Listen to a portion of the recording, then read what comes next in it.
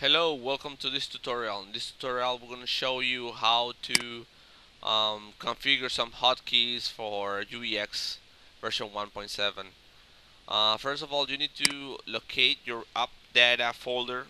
If you don't know it you just press pound app data pound you have to write down this and then you enter and then write um, find the, the right folder which is this one Ultimate Ground Crew X and then you open up the initialization file in, in the initialization file you're going to see some entries but this that have this um, value of means are um, hotkeys it's very important to notice that each of these hotkeys has a different functionality. For example, this one is for toggle on and off the preview road in the simulation.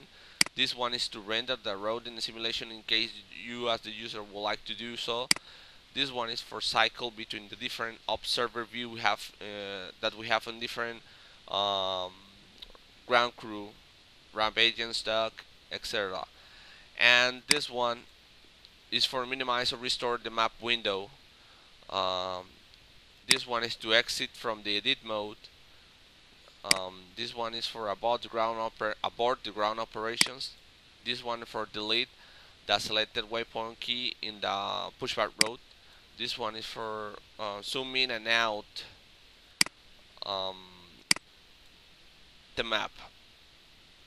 This one is for request the engine start at standby hand signals. This one is for request the engine start using the intercom this one is used well this two is used to cycle between the different pushback rows available to the current associated parking. And this one is for start the pushback um, the computer defined pushback. This one is for open and close the main menu and this one is for open and close the map window.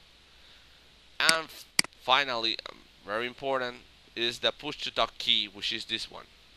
So when you finish assigning uh, keystrokes you just file and save and then um, leave the flight simulator to do its thing.